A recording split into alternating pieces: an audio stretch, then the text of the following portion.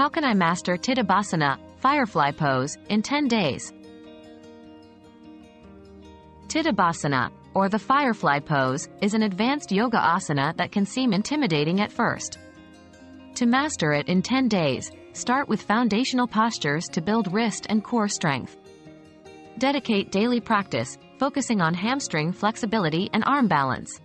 Always ensure proper alignment, gradually lifting the feet off the ground. Remember, patience and consistency are vital.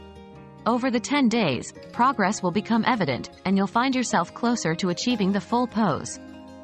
Always listen to your body and seek guidance if unsure. Embrace the journey, not just the destination.